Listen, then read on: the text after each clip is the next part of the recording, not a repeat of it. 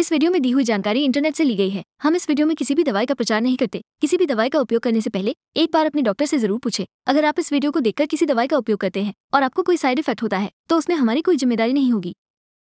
Doctor Sheth का centella और niacinamide sunscreen S P F पचास, P A plus plus plus doctor Sheth का centella और नियासिनमाइड तेल और मुहासे नियंत्रण सनस्क्रीन तैलीय त्वचा के लिए सूर्य से सर्वोत्तम सुरक्षा है।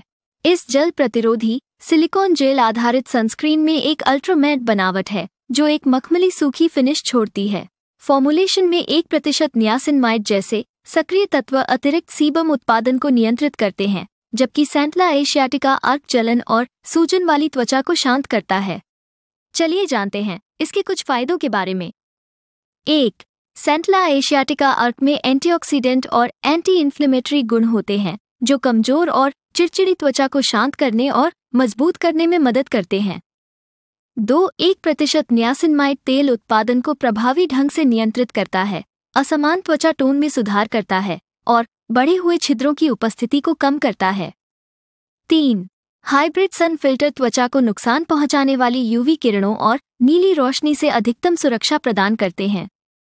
चार न्यासिनमाइड एक स्टार घटक है, जो त्वचा पर होने वाले दाग धब्बों को रोकने और त्वचा के असमान रंग को फीका करने के लिए सीबम के स्तर को नियंत्रित करने में मदद करता है।